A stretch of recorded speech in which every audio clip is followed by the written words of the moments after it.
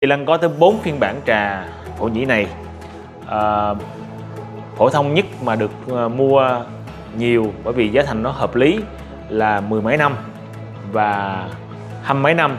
Sau đó đến loại ba mấy năm và bốn mấy năm nó y chang như là Chivat vậy đó. Nó càng lâu đời càng lâu năm thì càng ngon và càng giá trị. Thì Kỳ Lan sẽ xin phép review à, đây là loại mười mấy năm.